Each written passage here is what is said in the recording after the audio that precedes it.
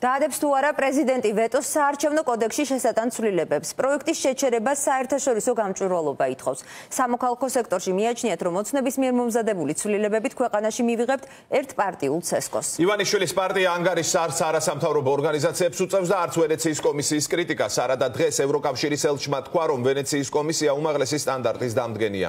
იმედი აქვს რეკომენდაციების შესრულდება.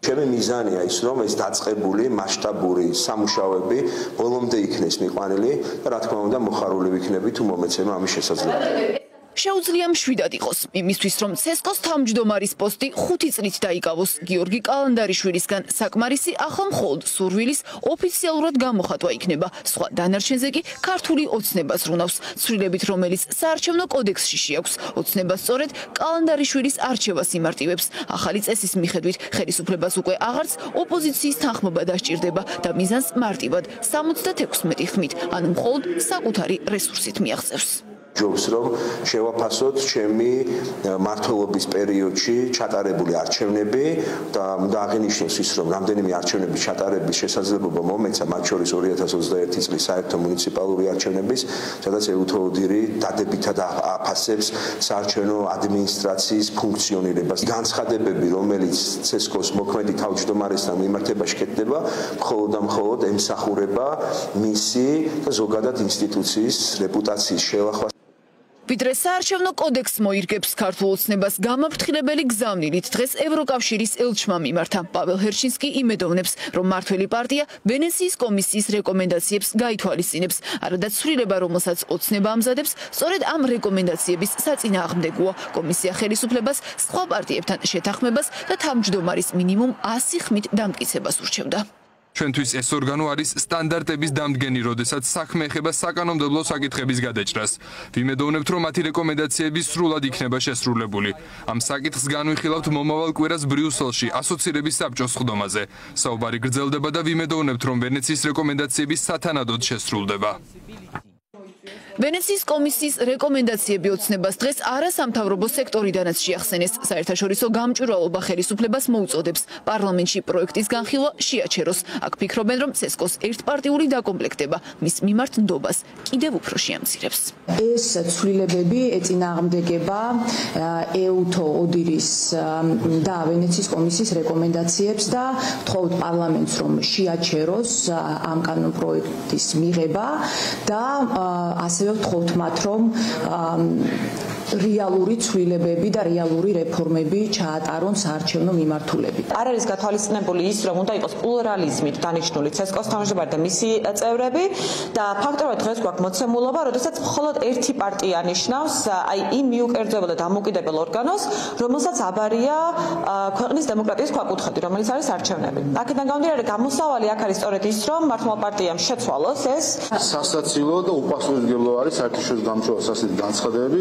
ეს კი ქართული ოცნების პასუხია. პარტია გაჩერებას არ აპირებს. მოწოდების საპასუხოდ შალვა პაპუაშვილი დღეს არც ადგილობრივი ორგანიზაციების კრიტიკას მოერიდა და არც ვენეციის კომისიის დადანაშაულებას.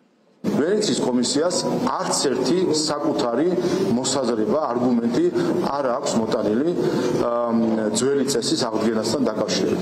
ვენეციის კომისია ეყოდება მხოლოდ ერთადერთ რამეს, 19 აპრილის შეთანხმებას. ჩვენი პასუხი ამაზე არის მარტივი.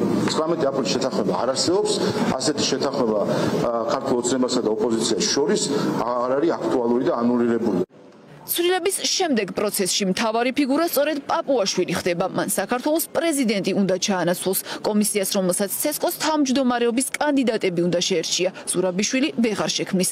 ახალი წესით ხელისუფლება ცესკოში თავმჯდომარის ოპოზიციონერი მოადგილის პოსტსაც აუქმებს. პოსტი ახლა გიორგი სიორაძეს უჭირავს. მათი ხელისუფლებაში ყოფნა არ ყოფნის საკითხი დგება და ისინი ცდილობენ რომ ყველანაირად ყველა ბერკეტს ფლობდნენ საარჩევნო პროცესზე და არჩევნების შედეგებზე.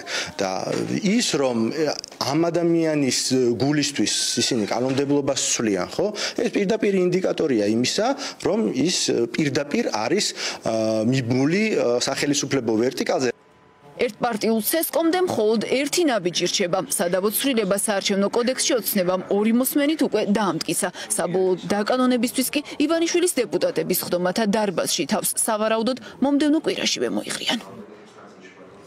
მას შემდეგ რაც საარჩევნო კოდექსში ცვლილებებს ქართული ოცნება დააკანონებს პროცესში საომე ზურაბიშვილი უნდა ჩაერთოს და მან კანონს ხელი უნდა მოაწეროს თუმცა არასამთავრობო სექტორმა დღეს პრეზიდენტს მიმართა და ვეტოს გამოყენებისკენ მოუწოდა. თუმცა ასეთ შემთხვევაში თუ ზურაბიშვილი ამ უფლებით ისარგებლებს ვეტოს დაძრება მართველი პარტიისთვის არ იქნება განსაკუთრებული პრობლემა. ანუ კანონი ამოქმედდება და მაღალი ალბათობით ცესკოს თავმჯდომარედ 5 წლის ვადით დაინიშნება გიორგი კალანდარიშვილი. ანუ 2024 წლის არჩევნებს უხელმძღვანელებს ფიგურა რომელსაც ოპოზიციური პარტიების და შესაბამისად ერთად ოპოზიციონერი ამ მომრჩევლის დიდი ნაწილის ნდობა არ აქვს. არადა ამარჩევნების სამართლიან გარემოში ჩატარება არის ცხრა დათქმის მნიშვნელოვანი ნაწილი და საყურადღებოა რომ სწორედ ხვალ ქართული ოცნება დათქმებთან დაკავშირებით პარლამენტში გეგმავს მორიგის შეხვედრის გამართვას. ასეთი შეხვედრა მართლმა პარტიამ 29 იანვარს საკანონმდებლო ორგანოში უკვე გამართა და მაშინ აქ მოიწვია ოპოზიცია სრული შემადგენლობით, თუმცა უმასპინძლა არასამთავრობო სექტორის მხოლოდ ნაწილს, რასაც დღეს გამოეხმაურა პაველ ჰერჩინსკი, ევროკავშირის ელჩი მიჩნევს, რომ ეს პროცესი ანუ დათქმების შესრულებაზე მუშაობა უნდა იყოს ინკლუზიური, ინკლუზიურობა უნდა უსწრუნველყოს სწორედ ქართულმა ოცნებამ და მან უნდა მოახერხოს, რომ ამ პროცესში ჩართოს როგორც ყველა ოპოზიციური პარტია, ასევე ყველა არასამთავრობო ორგანიზაცია. ეს შეხვედრა ხვალ პარლამენტში 11 საათია ჩანიშნული და ეს შეხვედრა როგორც უნდა როგორც გითხარით მიეძღვნება იმ ხედვების წარმოქმნას, თუ როგორ უნდა შესრულდეს 9 პუნქტი იმისთვის, რომ ქვეყანა ევროინტეგრაციის მომდევნო ეტაპზე გადავიდეს.